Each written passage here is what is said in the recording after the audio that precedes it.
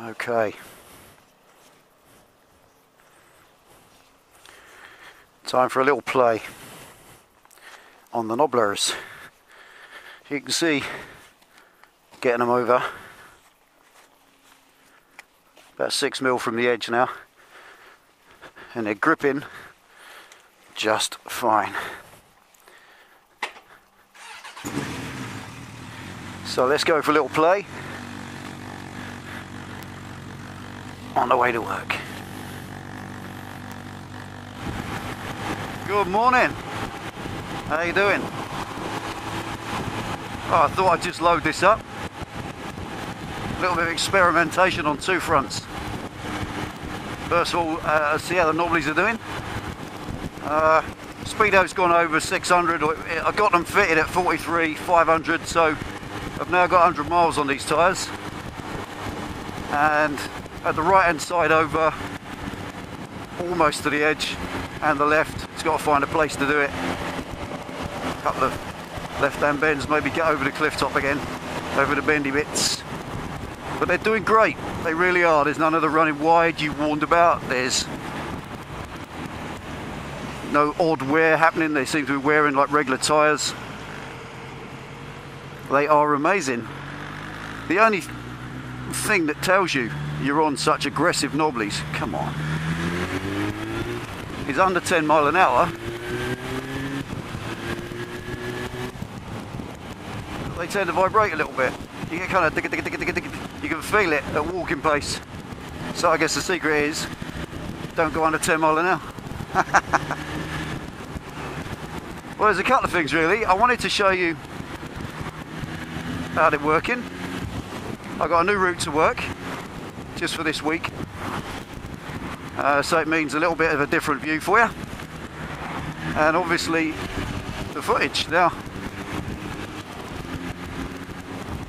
the big bad bull brand is here. We now have the 48 meg Infinity broadband that are working. As you might be able to tell from the quality of this. The engineer did eventually turn up and uh, was alright, good bloke. Took him four minutes. And I kid you not I timed him. Four minutes flat. He put in two plugs and made a test call. Job done. So there you go for all their fuss. And it is truly amazing. I shocked and stunned myself. Found that with uh, I intended to time an upload. Because uh, in the past a 10 minute video would take back on our old 0.3 to 0.9 meg upload. Uh, 360 video would take maybe thick end of 200 minutes two hours to upload.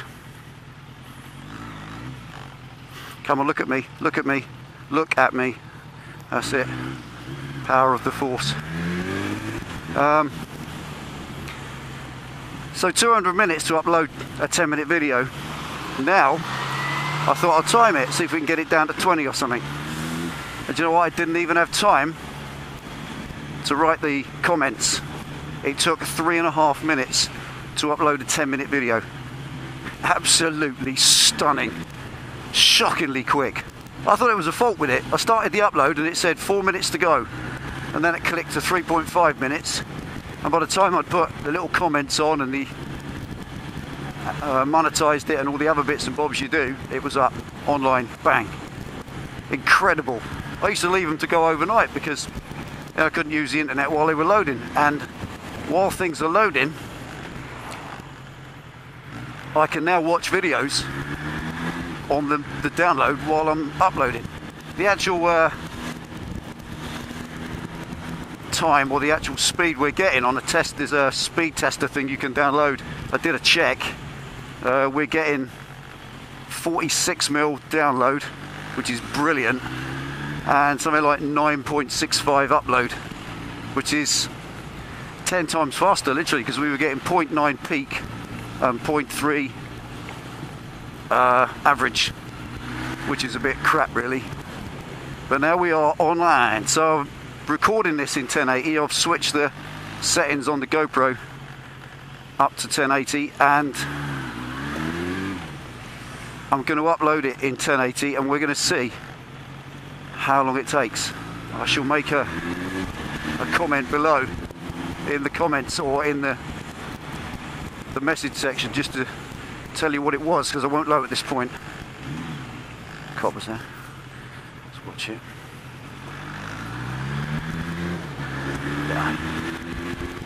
Busy.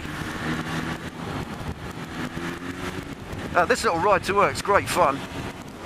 Absolutely great, but it is busy as you can see. I thought I'd bring you all along with me. And about the tyres again, I know that on the last video I didn't really mention them, but I was doing the thanks and stuff because that's really important to us. And again, the love we had in return, even more so. Uh, somebody made a comment about scooters that we don't denigrate scooters um, or put them down or anything. Well, not in a million years, folks. Not in a million years.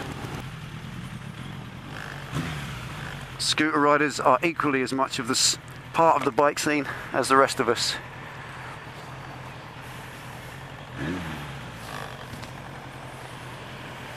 And uh, they take the same risks as us and everything else. So whatever you ride, honestly, I know that we have a bit of a laugh and we do kind of make fun of other bikes and we make fun of this and that, but it's never serious. We ride we ride all different bikes between us lot in the collective. And uh, no one motorbike is any worse or better than the next, except maybe a Chinese one. uh, this bit's great fun. It's really good fun. uh, see, we can use the powers of the force to bully our way through. Come on, mate, just look at me. As I see you in the mirror, Come on. Come on. No.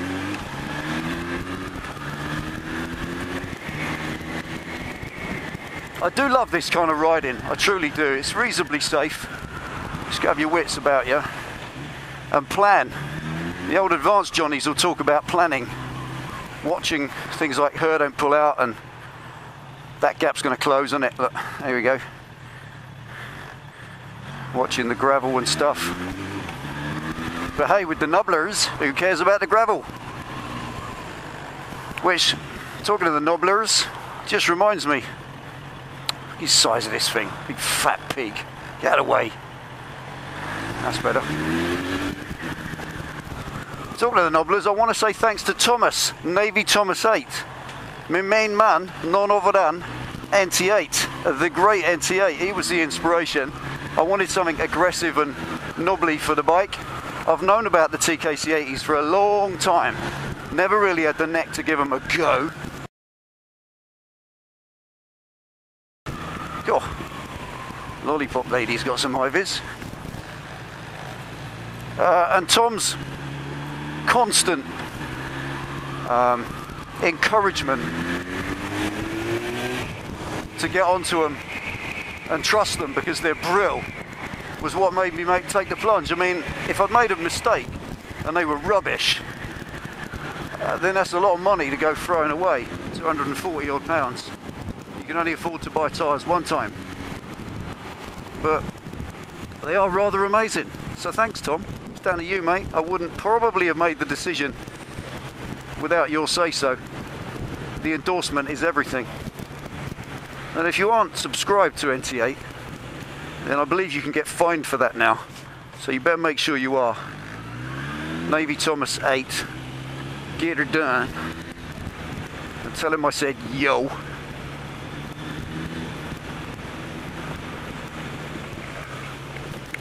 Sorry if there's silent bits, but I'm kind of focusing. Ah. Thanks, Ethan. I love this road.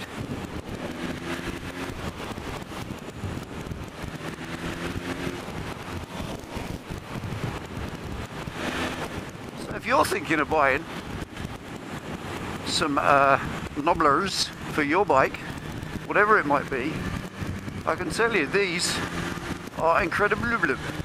They truly are. They may look aggressive and that they're going to go sideways and not grip and all that, but don't y'all believe it? They are incredible. Last night I had a little play on my favourite roundabout and I got the right hand foot peg to touchdown, which is pretty cool for knobblies. They just grip, they really do, they just grip. I've had a couple of wet rides to work in the last 100 miles and they've been fine. Just take it easy as you would on any newish tyre in the wet. And obviously being knobbly, being aggressive like they are, they're uh, they're going to grip in the wet. Certainly on decent quality tarmac. Obviously if something's too slick they might not because there's less rubber contact, but that's all about the dry. Don't know. Don't know what they're going to be like in the winter. We shall find out. If there's any tread left on them by the winter time. they're wearing, they're, there's the thing. Are they wearing? I don't know yet. The little hairs on the middle bit in the in the centre knobbles have only just started to wear off. They've worn off one side and not the other, as in they've worn off the back of the knobbles, not the front, which is the the way the knobbles work. They kind of chamfer. Knobbly tyres wear in like a cup. And as you can see, they grip on the dry. And they're really just only, only just been scrubbed in. I have uh, literally 100 miles on them. And at this, even at this sort of lean angle, a normal sort of riding tyres angle, they're fine. So trust them, they're brilliant. Stop worrying. I have. And now I've got a nine hour shift to do. So I'm going to leave you there. Take it easy, ride safe. I'll see you next time.